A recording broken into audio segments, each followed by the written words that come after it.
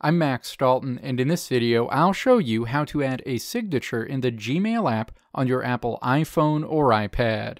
And to be clear, if you don't apply a specific signature for emails sent from this device, any signature you've set up in the desktop version of Gmail will be applied to all sent messages. Step 1. Open the Gmail app on your iPhone or iPad and then tap the menu icon. A menu opens. Step 2. Scroll down this menu and then tap Settings.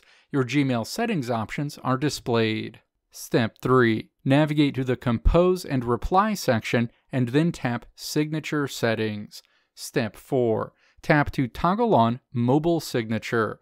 A field appears where you can add a signature for any emails sent from this Gmail account in the Gmail app on your Apple iPhone or iPad.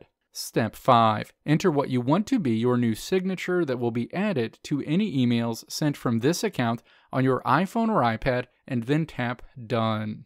This signature will be applied to emails sent from this account on this device immediately. Let me know if this video helped you out in the comments below. If you liked what you saw here, click the video links on the right side of the screen to check out another video.